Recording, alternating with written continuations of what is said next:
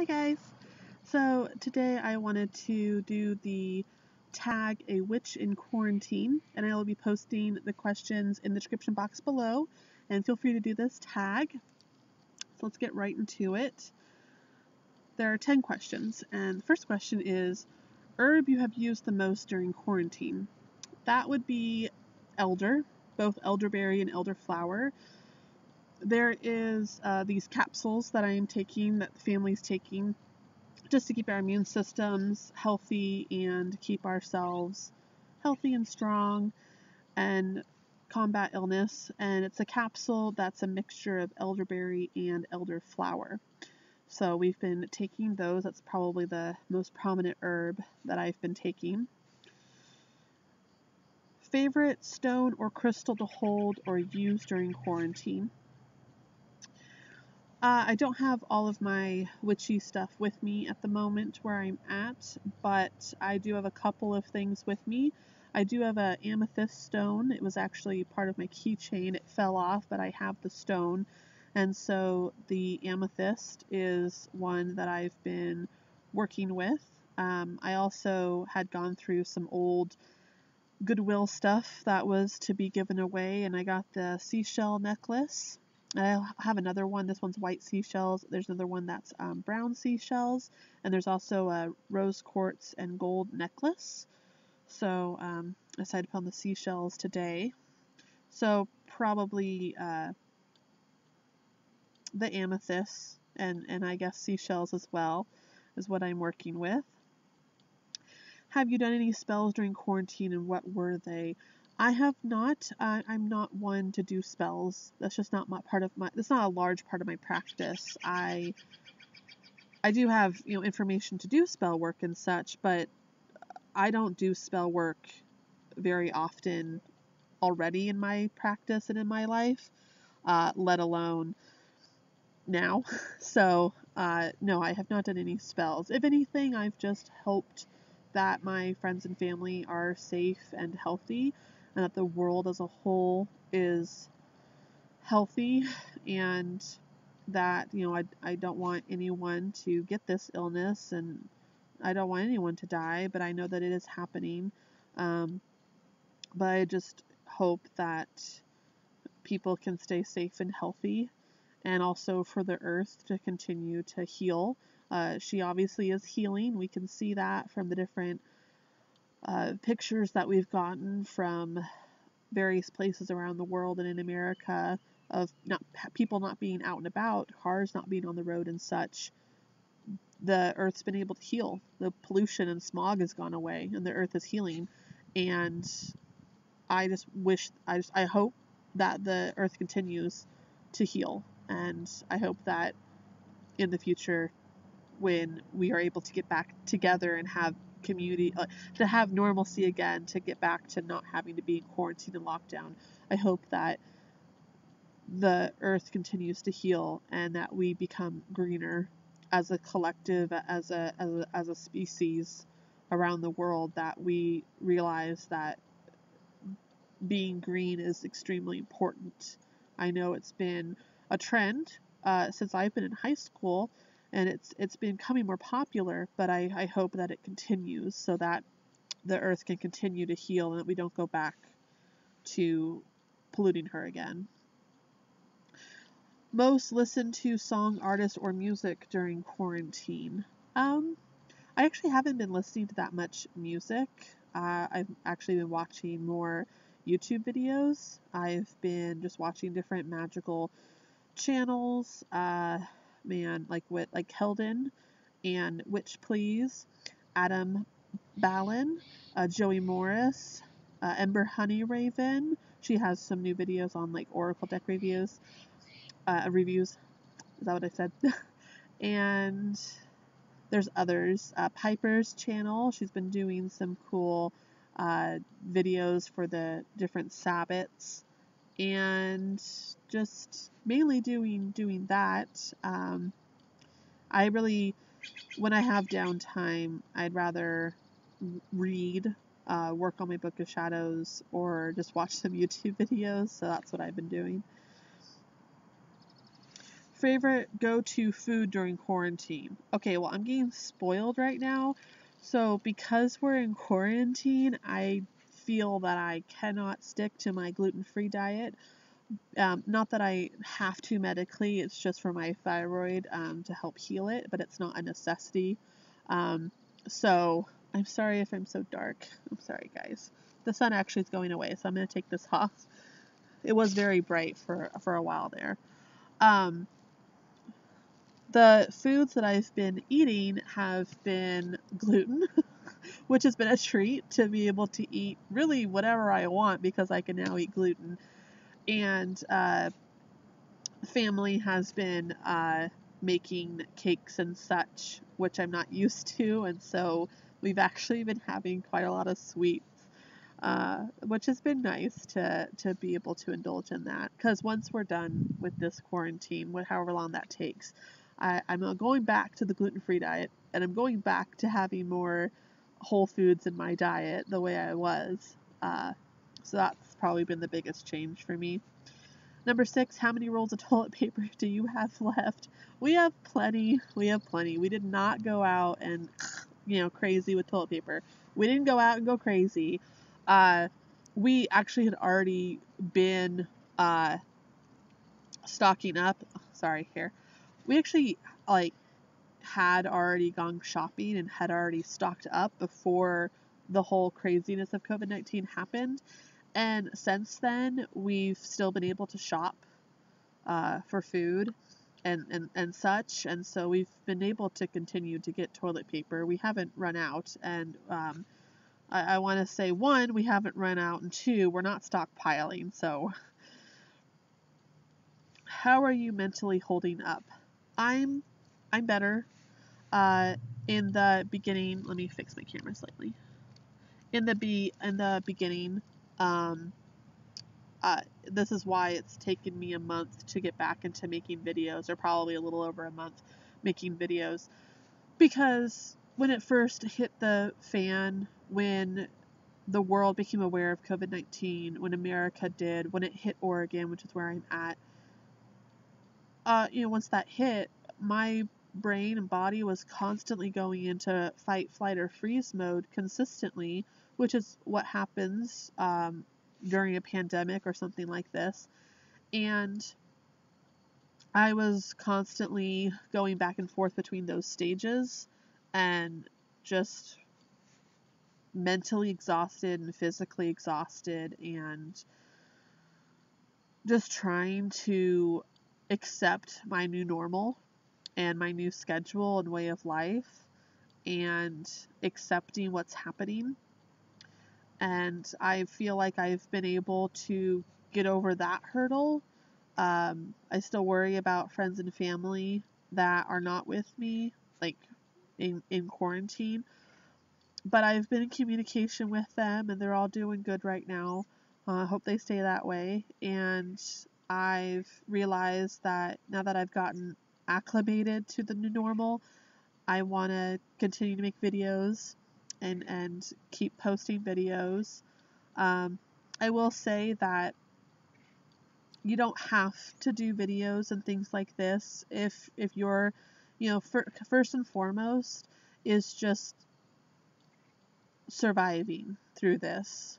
That's the first thing. If you're still going through the fight, flight, and freeze, and I still am here and there with news that I hear and, and new things that come up, then that's totally fine. Like, I'm not perfectly fine now. I'm not all peachy keen now. I'm just better than I was a month ago. And, you know, if you're just in survival mode still, that's perfectly fine. Um, hopefully, you can also do some self care because that's important. I think that'll help you with uh, the mental state, the emotional state, the physical state, if you can have some type of self care. And again, not, I don't, you know, I would never expect anybody to just go like, oh, tons of self care. Like, no, like one thing that you can do a day that's self care um, to help you out. Uh, for me, I've, I still do my daily oracle card reading. I, um, I enjoy the food that I get. We we, we have scheduled um, meal times for the most part. Well, we have scheduled dinner, sometimes scheduled lunch. Not like not like it's like scheduled, but like we all come together for dinner as a family and, and sit down and have dinner together. And sometimes we do that for lunch. Um, and I I take time to do whatever I can.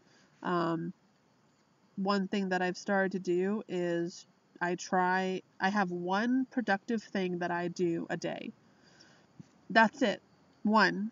Just one productive thing that I can do each day amidst obviously just surviving. You know, um, surviving to me is eating, uh, take, you know, just taking care of you, uh, trying, you know, trying or remembering to take a shower, and making sure that the people I'm with are also okay. Self care on top of that is finding time to have me time, uh, to just sit down and watch TV. Fine, you know, get on YouTube and watch videos or just watch TV. That's that's self care. That's something that helps me to relax. Um, I find time during the day to work on my book of shadows or read um, and write and now I'm trying to find time to make videos. Um, but it's taking me a month to get comfortable to find the time to do all this and uh, find my new normal and acceptance. And uh, just going back to the question of how am I mentally holding up, I I'm holding up. You know, I still worry but I've learned to accept what's happening and I'm going one day at a time. Oh, yeah, so I am trying to do one productive thing a day. Um, something that I can do uh, to help out uh, while we're in quarantine. Uh, if, if anybody needs any assistance with anything, whether it's like doing laundry or or dishes or um, or helping out with the garden that we have, just something productive to do, uh, one productive thing to do each day, and that's that's all. It, you know, if I can if I can go to bed at night knowing that I had one self care thing that I did that day, and I had one productive thing that I did that day, then I'm good. And I don't make plans. I don't make to do lists. I I make to done lists. that's something I have to give credit to my partner because he made me realize this. I don't create a to do list. I, I, of course I do have I still have things happening in life that I got to be aware of um, as far as timing and such. So, of course, I have a schedule, but I don't have a to do list of things that I want to get done or have to get done that day. I have a to done list, and that is at the end of the day, I I you know in bed I think about what did I get done today? What did I achieve today? What did I do today that was positive, that was self-care, that made me happy? And I think about that and I'm grateful that I had those opportunities. I'm grateful that I did those things, and it is a to done list instead of a to do list. Next question is quarantine hobbies, or did you gain one? Uh, quarantine hobbies, um, getting into gardening, and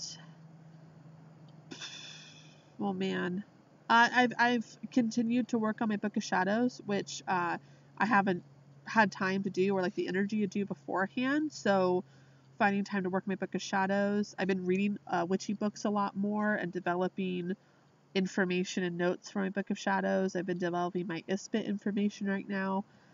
And so, um, what's funny is before this, I focused a lot, like, before all this happened, my me time and downtime was to work on my business. because that made me happy. And the idea of working on magical stuff was like, except for my coven, um, which I'll, I'll, i talked about in my update video, but I'll mention that really quickly. At, at I'll mention at the end. Uh, but I didn't really do anything, and I wanted to keep working my Book of Shadows, and I wanted to read, and I wanted to develop ISPIT information. Those were like my three main goals this year, and I hadn't been doing them. Well, now that I have time because I'm not working, I have been able to um, find the time to do those things. And that I think that is some hobbies that I've been able to be doing, which is very gratifying and self care for me. So I, I really uh, doing that. Read any good books during quarantine? yes, uh, I've been reading all of my ISPIT based books. Oh my gosh, I have so many, but let me try and think about um, the Hedge Witch Book of Days by Mandy Mitchell is really good. Uh, I finally wrapped my head around Moonology by Yasmin Boland.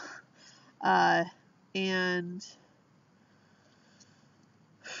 oh my gosh. Oh yeah, um, Everyday Sun Magic and Everyday Moon Magic by Dorothy Morrison. I've been able to gather the information I wanted from there and, and put it into my ISPIT information. And was there any other books? Uh, for the most part, I think that's it. As far as books. That's what I've been reading so far. Most lit incense during quarantine. Again, I don't have my incense with me, uh, but what I do have, which I've been using, is before all of this, during like the flu season, during like winter, um, I made some thieves oil. Uh, so that's a mixture of, and you can look it up online, but I'm pretty sure, actually, let me just look it up really quickly. I have my phone with me uh, because I followed the basic thieves recipe. Um, and because I have a bunch of essential oils and I made my own, if Google will help me out. So it is a combination of cinnamon, clove, lemon, rosemary, and eucalyptus. And I'm just looking to see if there were any other oils. No, just those. So those five cinnamon, clove, le lemon, rosemary, and eucalyptus. And you blend it, you mix it together with the carrier oil. And I have a spray that I've been using, and then I have a couple of um, dropper bottles of it. Uh, and so I've, yeah, I've, I've been um, using that on occasion. It's not too important for me to use it all up right now because I am in complete isolation in quarantine. But uh, occasionally, when we get like groceries and stuff, I will put some of that on me just to boost my immune system. Very similar to the elderberry, elderflower capsules we've been taking. It just helps to boost the immune system, and it's that thieves oil, uh, which was developed during the plague in Europe to help combat the plague. I, I I'm not saying that it combats anything, but the oils do help to boost your immune system and antibacterial, antifungal um, oils, I, I believe. And so I just know that it's a good medicinal like blend to do. I am not a doctor, and I am not saying that it will help you medicinally. As a witch, I am using it as a defense, uh, just like the elderberry flower capsules. Uh, to keep myself healthy. So as far as the incense, that's that's the one I've been using. So yes, so that those are the questions, and that's what I've been uh, doing during quarantine. And I, I do I do think this is a, a good tag because even though it the title is a witch in quarantine, it helps all of us understand what people are doing uh, magically in their practice right now in quarantine and allows us to continue to spread that witchiness around and possibly gives people some ideas of things that they can do to continue to incorporate the magic into their lives, um, even if they don't have everything that they usually have with them or don't or don't feel like they um, might have the ability. I'm sure there's hopefully something you can do to bring some of that magic back into your life. If anything, just getting on the internet, watching these YouTube videos uh, is one thing that's been really helping me as far as community. Oh, and the thing I was going to mention was uh, my coven. So I have a coven, and we've been meeting. Uh, well, we, we, before all this, we would meet in person, obviously, um, bi-monthly on Saturdays, and now we're not, obviously. Um, but what we've what I've done is the group gets together on Facebook Messenger video chat, and we conduct our meetings online through there, uh, live FaceTime, and we also conduct the rituals that way. I develop a shorter ritual than what we have done in the past. So usually our rituals that we do as a group, I would conduct and it had I'd have different parts that other people would conduct. And it'd take about an hour and a half, two hours. And now I've brought them down to being a half hour to 40 minute ritual. And I conduct it live through the video chat. And I have, um, I kind of walk uh, the other people, uh, the members, through what to do on their end. So everyone's doing the ritual themselves, and I've picked more solitary rituals uh, that we can do as a group. So basically, everyone does a the, the ritual on their end. And the reason I've picked solitary rituals is because it's easier for them to then do the ritual on their end. And beforehand, I give them a list of supplies and things that they may or may not need. I try and make it as minimal, minimalist as possible because uh, I know we can't just go out and buy stuff that we want or need. And we conduct the ritual online together, and I walk the everyone through it, and I do it myself, and we just walk through it. Um, and I do uh, also uh, send the meeting notes for the meetings to everybody on email via email, which is what I've always done, and that's what we've been doing um, for the coven. That's what we've been doing, and we also talk online as well um, and keep in touch. So that's another witchy thing we've been doing is doing online rituals and online coven meetings, which I think uh, I've I've heard a lot of um, covens have been doing. So yes, uh, that is the Witch in Quarantine tag, and the questions are linked below. I mean, the questions are in the description box below. Thank you for watching. I hope everyone stays safe and healthy, and blessed be.